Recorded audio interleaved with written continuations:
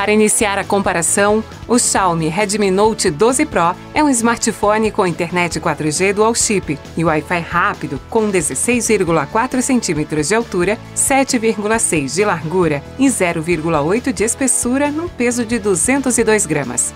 Por sua vez, o Xiaomi Redmi Note 12 Pro 5G é um aparelho com internet 5G, dual chip e Wi-Fi rápido, com 16,3 centímetros de altura, 7,6 de largura e menos de 0,8 de espessura, num peso de 187 gramas.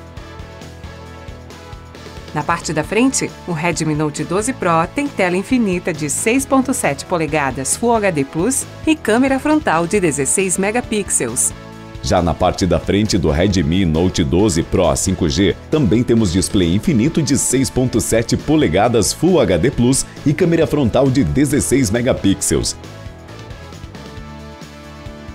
Agora, na parte traseira do Redmi Note 12 Pro, vem a câmera principal quádrupla de 108, 8, 2 e 2 megapixels com flash.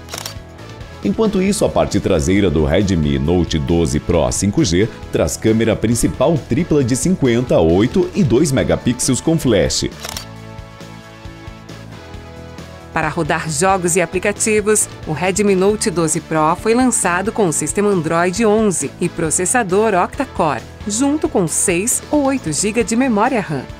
Já o Redmi Note 12 Pro 5G veio com Android 12 e processador octa-core ligado com 6 ou 8 GB de RAM.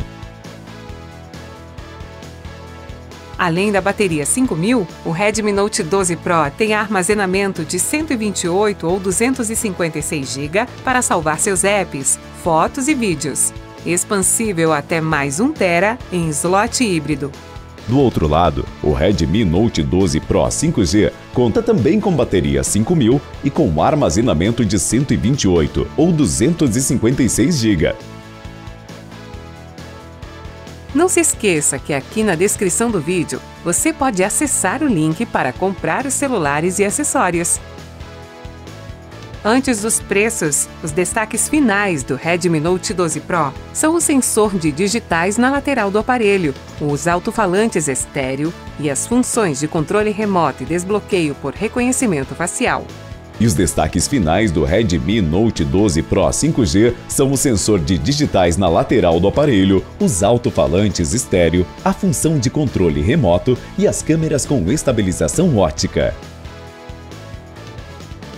Atualmente, o Redmi Note 12 Pro pode valer a pena na seguinte faixa de preço e, a princípio, traz tecnologia NFC para pagamentos e demais funções. Mas atenção, que algumas versões são vendidas sem NFC. Já o Redmi Note 12 Pro 5G pode ser uma boa nos seguintes preços. E ele também vem com tecnologia NFC.